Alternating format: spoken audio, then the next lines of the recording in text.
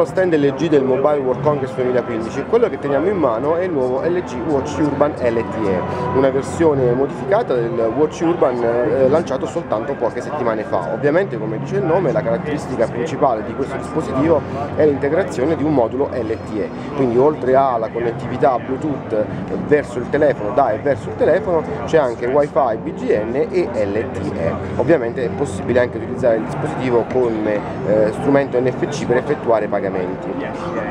Dicevamo, le caratteristiche rispetto al eh, Watch Urban non sono poi particolarmente cambiate, la cassa è leggermente più grande ma l'impostazione rimane identica, ci sono tre pulsanti sulla cassa invece di uno soltanto, eh, lo schermo è lo stesso, 1,3 pollici eh, circolare con tecnologia BioLED, quindi plastico LED, eh, quello che cambia sul piano pratico è il tipo di sistema operativo installato, mentre nel caso del Watch Urban è Android Wear, questo è un dispositivo realizzato sulla base di un software creato appositamente da LG. Ora, guardando questo dispositivo non si può non pensare che si tratti di WebOS. LG non ha voluto confermare o smentire che si tratti di un prodotto basato su WebOS, ma appare evidente che la scelta sia caduta sul software che è stato acquisito eh, ormai mesi or sono da eh, parte di eh, LG mh, dopo un lungo giro passando per HP e partendo da Palm che aveva sviluppato per prima questo tipo di sistema operativo. Eh, perché è stato utilizzato un sistema operativo diverso? Android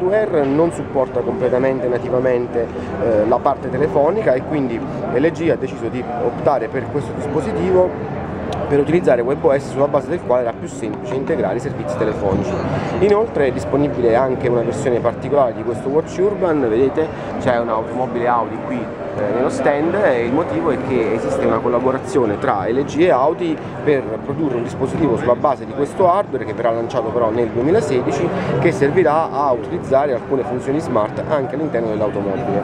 Per il resto l'hardware è pressoché analogo al precedente, quindi Qualcomm Snapdragon 400, 1 GB di RAM, 4 GB di storage, la batteria è un po' cresciuta e arriva a 700 mAh. Vedremo quando questo dispositivo sarà lanciato effettivamente poi sul mercato italiano, non dovrebbero aspettare molto, eh, è un dispositivo molto interessante sul piano della costruzione, ricorda molto un orologio vero e proprio, integra anche le funzioni di monitoraggio del numero di passi, comprende anche un GPS, quindi si possono tracciare i movimenti, c'è la lettura del battito cardiaco tramite questo sensore ottico posto sul fondo della cassa, eh, la ricarica avviene appoggiandolo su una basetta come quella che c'è qui in fiera.